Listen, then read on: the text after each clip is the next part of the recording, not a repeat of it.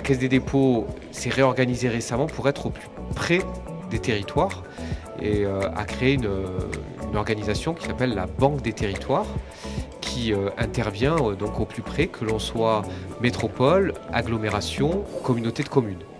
À ce titre, nous accompagnons toutes les dynamiques liées notamment au développement durable et ce type d'événements et de- des trophées du développement durable sont une occasion pour mettre en avant les initiatives du territoire, des entreprises du territoire. Le développement durable est au cœur des interventions de la Caisse des dépôts qui intervient pour des territoires plus attractifs, plus inclusifs et plus durables. Et à ce titre, nous euh, intervenons donc au quotidien des collectivités locales dans leur développement.